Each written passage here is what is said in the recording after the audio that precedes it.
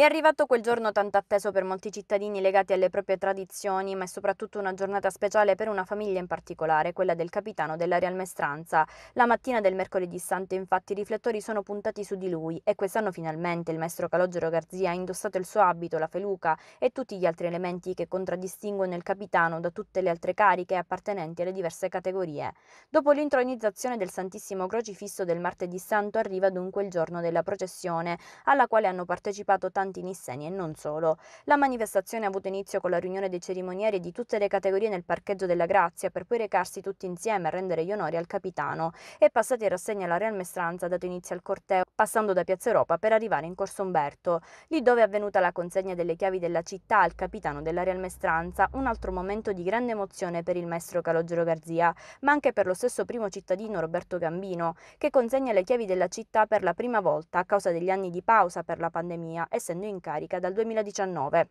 Tappa successiva alla chiesa di Sant'Agata al collegio, dove l'assistente spirituale della Real Mestranza Don Michele Quattrocchi ha affidato al capitano il Santissimo Crocifisso velato e con guanti, calze, cravattini, neri e tutti i segni di lutto, il corteo della Real Mestranza si è diretto in cattedrale per l'adorazione eucaristica. Infine, intorno a mezzogiorno, la Real Mestranza, insieme al vescovo, al clero, nonché alle autorità civili e militari, ha effettuato l'ultimo tratto della processione, questa volta però libera dai segni di lutto, indossando gli accessori bianchi e togliendo il velo nero al Santissimo Crocifisso crocifisso